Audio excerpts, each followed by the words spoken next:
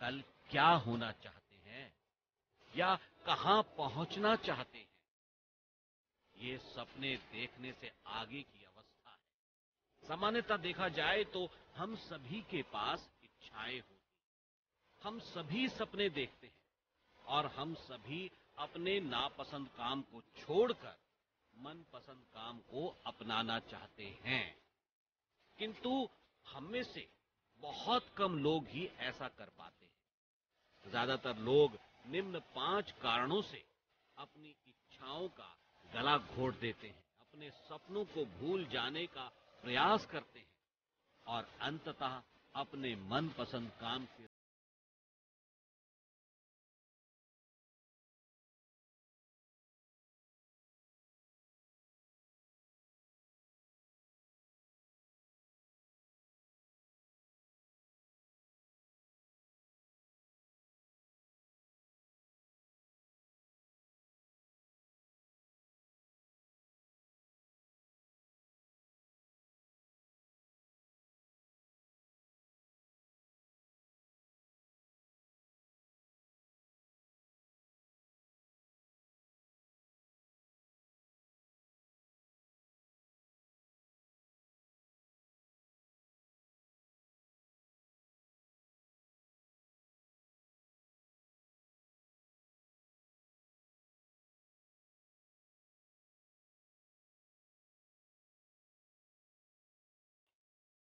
सुरक्षा का वाहन।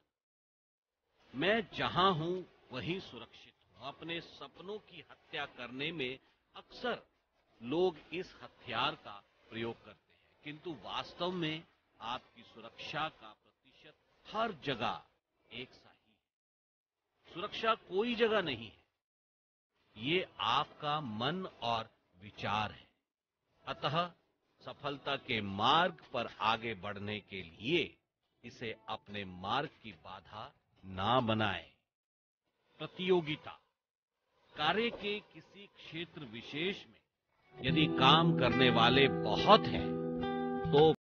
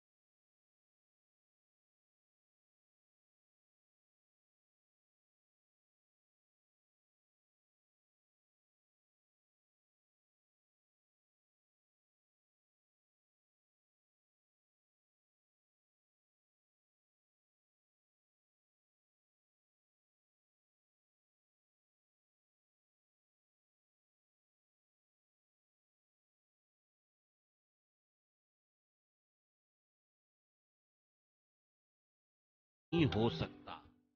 प्रमुख रूप से ध्येय सात प्रकार के होते भौतिक, आर्थिक, आध्यात्मिक, करियर, परिवार, मानसिक और सामाजिक।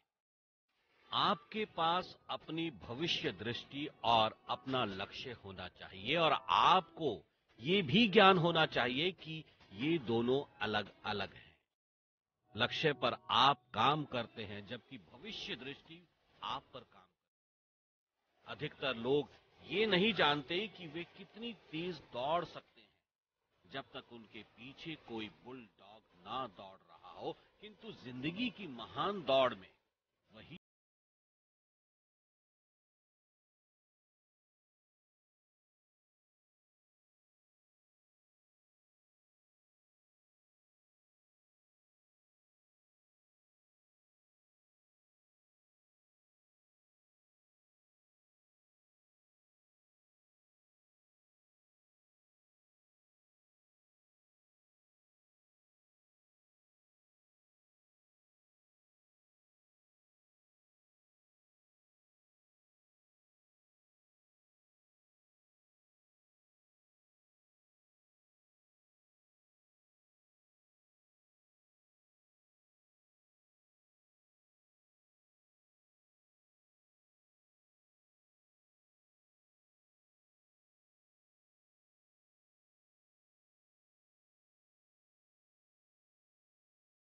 स्थान पर अपनी नियामतों को गिने और हमेशा अपने सपनों के लिए लक्ष्य की दिशा में संघर्ष।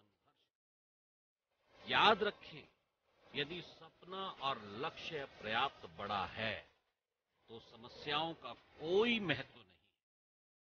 कठिन समय के लिए पहले से तैयारी करें। जैसे सर्दी के मौसम से निपटने के लिए तैयारी गर्मी के समय से ही करते हैं। जैसे आज गर्मी है तो कल सर्दी आएगी ही। ठीक इसी प्रकार। बड़े लक्ष्यों की ओर बढ़ने से समस्याएँ और चुनौतियाँ तो आएँगी ही। संकट के बादल मंडराएँगे ही। इन सब के लिए हमेशा तैयार रहे। सबसे बड़ी बात संघर्ष के लिए तैयार रहे। ध्यान हमेशा अपने बड़े लक्ष्यों की ओर रखें। कभी भी समस्याओं और चुनौतियों के कारण अपने ध्येय, लक्ष्य को छोटा ना करें। और इस प्रकार भाग आठ।